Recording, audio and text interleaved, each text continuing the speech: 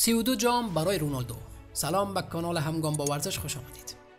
مهاجم پرتغالی پس از قهرمانی با یوونتوس در سری آ تعداد جامهایش به 32 رسید.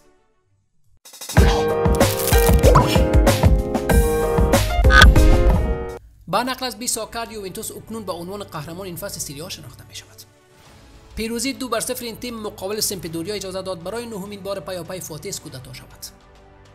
تنها به افتخارات بانوی پیر افزوده نشد. در میان قهرمانان یک نفر برجسته است. او کسی نیست جز کریستیانو رونالدو که اکنون 32 عنوان قهرمانی در ویترینش دیده می شود ستاره پرتغالی در نخستین سال حضورش در یوونتوس هم فاتح اسکودتا شده بود. همچنین در سال 2018 برنده سوپر جام شد و اکنون با تیم تورینی سه جام فتح کرده است. این بازیکن در خانه قبلیش یعنی سانتیاگو برنابو 16 جام بالای سر برد و چند عنوان به دست آورد. او دو لالیگا، چهار لیگ قهرمانان اروپا، دو کوپا دل ری، دو سوپر جام اسپانیا، سه سوپر جام اروپا و سه جام جهانی باشگاه ها را به دست آورد.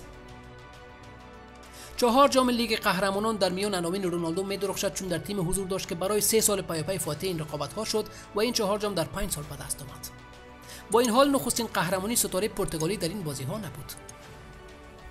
او در منچستر یونایتد که از سال 2003 تا 2009 پیراهن این تیم را برتن کرد در سال 2018 قهرمان اروپا شد.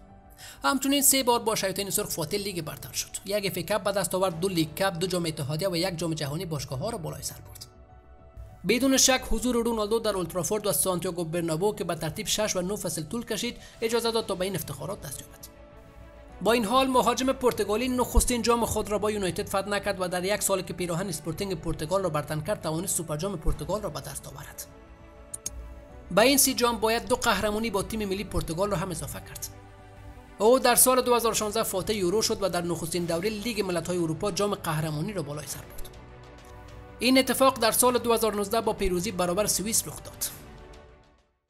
تشکر از همراهیتان تا گزارش بعدی سبز و شاد بمانید. نگهدار.